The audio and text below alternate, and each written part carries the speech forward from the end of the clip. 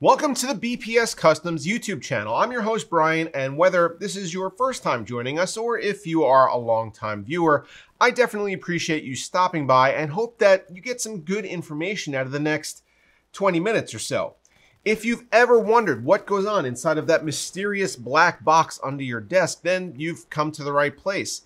This is our new series, Gaming PC Basics, where over our series of videos, we're going to help you understand what goes into building a PC, what the individual components actually do, how to choose the right parts for your specific use case, and even how to build it and what to do afterwards. If that sounds good to you, make sure you click on that subscribe button down below and even follow me on Twitter for more updates. Our Gaming PC Basics series kicks off right now.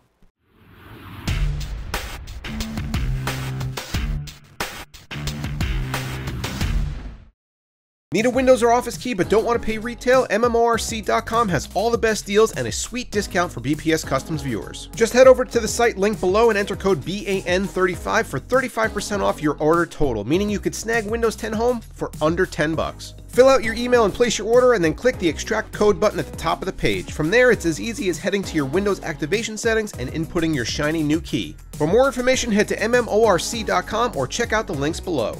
For some people, buying a pre-built PC from a store and knowing that when they hit the power button it's going to fire up is plenty for them.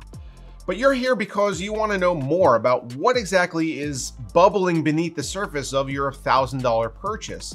Today we're going to go over what the components are that are involved in building a gaming PC, why they're important, and what they actually do. Let's start off with something that is probably the most obvious part of a gaming PC, and that's the case. Whether you have a budget, mid-range, or high-end build, a new or an old system, a PC or a Mac, you're gonna need a case of some kind. Cases typically come with a few basic features built in, meaning you shouldn't have to worry about adding these on later. Most of the time, you'll get the case itself, a power button, sometimes a reset also, a headphone jack, and some number of USB ports. A lot of cases also come with fans to help with ventilation, although counterintuitively, the more expensive the case, the less likely it is to provide you with this add-on. Cases are probably the component on the market with the most available manufacturers and choices. But the big names here are Corsair, Cooler Master, Lian Li, Fractal Design, Thermaltake, NZXT, and Phanteks. The traditional color for a PC case was kind of a really boring beige, and if you had a beige box while you were a kid, you're in good company. But over the past 10 years, black has become the new standard, with lots of companies also now offering white enclosures. Occasionally, you'll also find gray, but outside of those three, the pickings do get pretty slim. If you want a pink, red, or blue case, there might be a few limited choices out there. And if you're big into green, purple, or yellow, well, you might have to bust out the spray can. Probably the most important aspect of choosing a case is going to be the size. And there are three main form factors that you'll need to be familiar with and also remember for other component selection. An ATX case is your standard size tower. It holds a large motherboard but also has mounting points for smaller boards as well.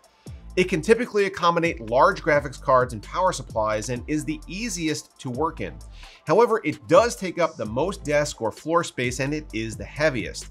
Mini ITX is the smallest and second most popular. These cases are usually not recommended for first-time builders just looking to get their feet wet, but if you're up for a challenge, the basics are the same. They can hold small motherboards and some even require the use of smaller power supplies and most of the time have limited space for hard drives and accessories, but they are compact and they are portable, and when they're done right, they definitely are impressive. The middle child is Micro ATX. As you'd imagine, the size is a nice middle ground. They can fit small or medium-sized boards, and usually also a standard power supply. Micro ATX is the least popular, however, and your options here are usually limited. Regardless of size, many modern PC cases come with a window, and recently that window has been made of glass.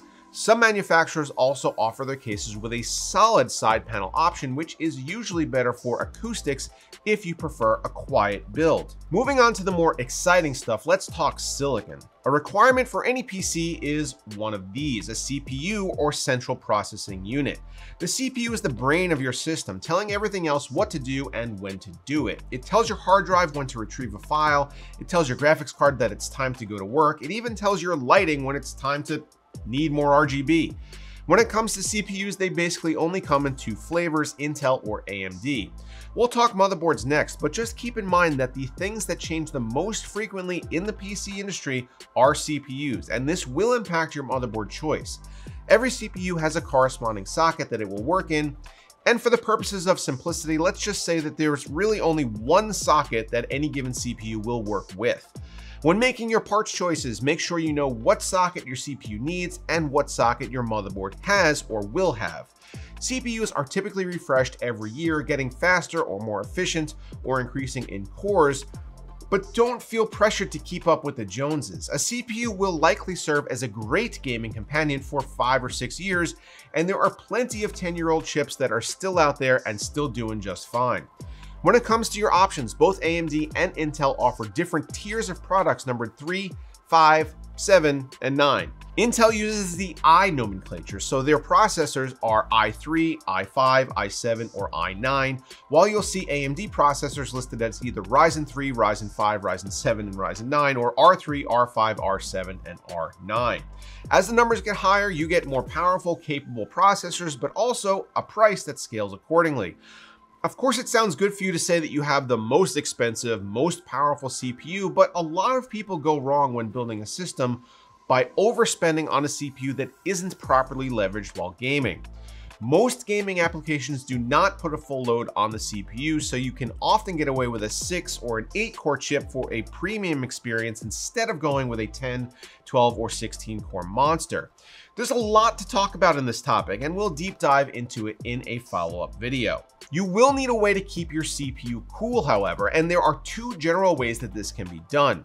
You can either cool with air, like this traditional tower air cooler, or with water like this all-in-one liquid cooler. There are a lot of options here, and we'll talk more about how to choose a cooler in a follow-up video. Air coolers use a contact point called a cold plate at the base that draws heat away from your CPU and up into things called heat pipes. The heat pipes then run up through a series of fins and air blows across the fins, dissipating the heat into your case where it can be exhausted. A water cooler has a similar contact area with the CPU, but instead of transferring the heat to a heat pipe system, it instead transfers it to water running across the top of that cold plate, and the water runs through the tubes to a radiator in a very similar manner to how a car radiator works. There are fans that then blow through the radiator, exhausting the heat from your case. Now, onto motherboards. These are like the nervous system of any PC. Everything plugs into it and it sends signals between components as appropriate. It also handles the power distribution inside of the system. Like we already talked about, motherboards come in sizes that correspond to the popular case form factors. There's a full size or ATX board, a medium size or micro ATX, and a small size or mini ITX. ATX boards are by nature able to fit more features, connectivity, and even cooling just due to their sheer size. You could have more USB connections, more fan headers, more expansion slots, and even more RGB features on an ATX board. And they can range in price from about $120 all the way up to $1,000. Mini ITX boards can also be quite pricey simply because of the engineering effort required to cram most of that same stuff onto a smaller PCB, but you'll only get two memory slots as opposed to four, meaning RAM capacity is lessened. Again, micro ATX boards fall somewhere in the middle, but because of the lower popularity, you do have far fewer options. As a positive, micro ATX boards are typically the cheapest of the three. And because of the flexibility of the smaller size, they can be used in either ATX or micro ATX cases. This is why you often see pre-built systems using micro ATX boards. Keep in mind though that the biggest constant on motherboards is that they all have a CPU socket and the CPU socket needs to match this guy. The current socket for AMD is AM4, while Intel's current socket is LGA 1200. You'll note that the sockets themselves do look quite different. The AM4 socket has a bunch of plugs because there are pins on the CPU that slot into the holes. The LGA 1200 socket has tiny pins in it that make contact with the pads on the underside of the CPU. For now, this makes it easy to identify an AMD or Intel motherboard, although this might change. We might as well talk next about the thing that all gamers are clamoring for, and that is a graphics card, or a GPU. Graphics cards are the workhorse of any gaming PC and what most determines how well your rig will perform. Unlike when we talked about CPUs, spending more on your graphics card will absolutely get you better gaming performance, I guess with a few exceptions at the very high end of things. The graphics card actually does the deed of translating all the ones and zeros into an image on your screen, and they can get quite pricey. The most expensive consumer graphics cards can get up into the multiple thousands of dollars, but don't think that you need to spend that much to get a good experience. In fact, a lot of how your GPU will perform is tied to the resolution of your monitor that you want to play on. If your monitor resolution is 1080p, you can get away with spending far less than if you wanted to game at 4K and ultra settings. Like with CPUs, there are only two major players in the graphics card game, AMD and Nvidia, but unlike with CPUs, the interface does not change and hasn't in many years. This has held true since the introduction of the PCIe motherboard slot, which, despite advancing in bandwidth, is always backwards compatible. This is a great thing because if you have a five-year-old graphics card, it will slot in perfectly to a brand new motherboard. GPU refresh cycles happen about every two years, with the most recent batch of releases happening in 2020. Graphics cards usually are a safe bet to buy on the used market as well if you want to save some money as they tend to age pretty slowly and don't see any significant degradation in performance over time as long as they are properly maintained. We're going to move on now to the place where your data is actually stored. Traditionally, hard drives have been used for this purpose and they are still a very prevalent thing to see today. Hard drives use a physical spinning disk inside of a metal housing, and because they've been around forever and technology and manufacturing have improved over time, this is often the cheapest way to get a large amount of storage space, measured most commonly in gigabytes or terabytes. A terabyte is 1000 gigabytes, and a 1 terabyte hard drive is pretty cheap these days. It can store a lot of stuff. More recently though, solid state drives or SSDs have taken over due to their smaller size, better power efficiency, lack of moving parts, and especially their speed.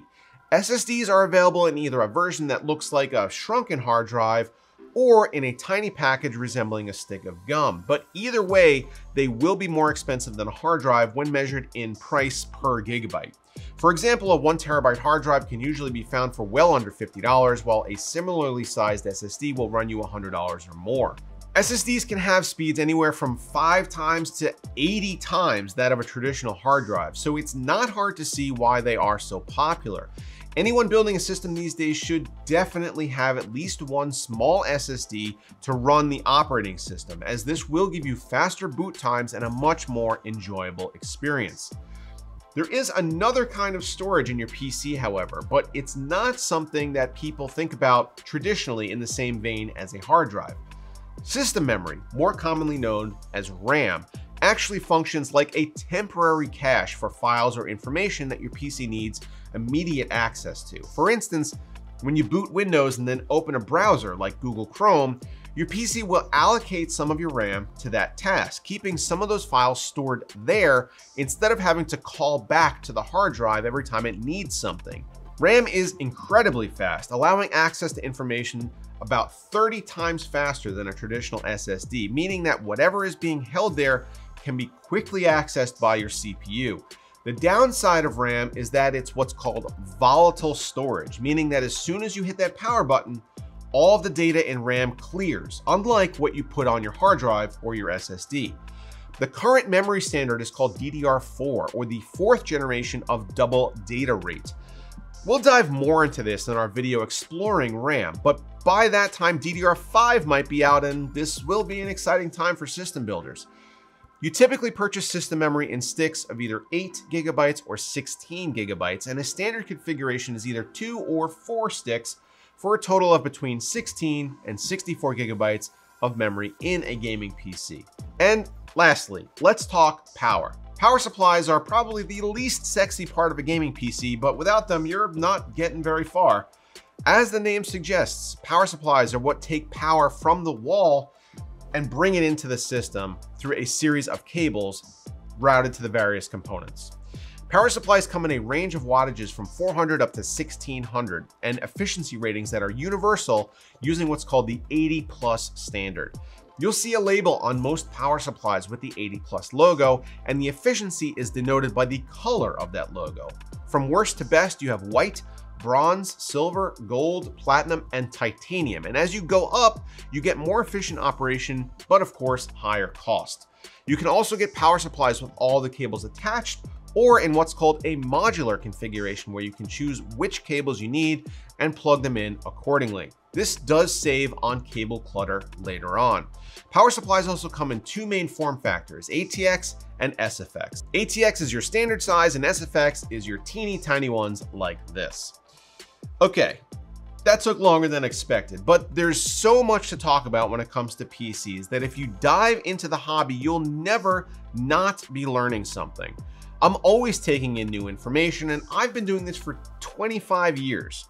Make sure that you get subscribed if you want to check out more in-depth conversations about these components, including buyer's guides and how-tos, which will be coming to the channel in the next few weeks or months. Thanks for watching, everybody, and happy gaming.